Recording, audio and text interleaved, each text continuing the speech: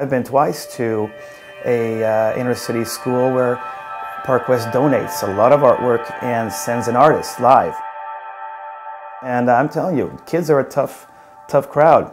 I was uh, painting and I applied some red and this young girl asked me, why are you doing that?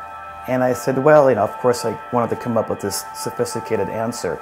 Well, because the, the red reflects the, uh, the, the, the orange. She said, I don't like that. And boy, I was put on the spot, and that's that brutal honesty that I think an artist needs to be needs to get every once in a while just to keep in check.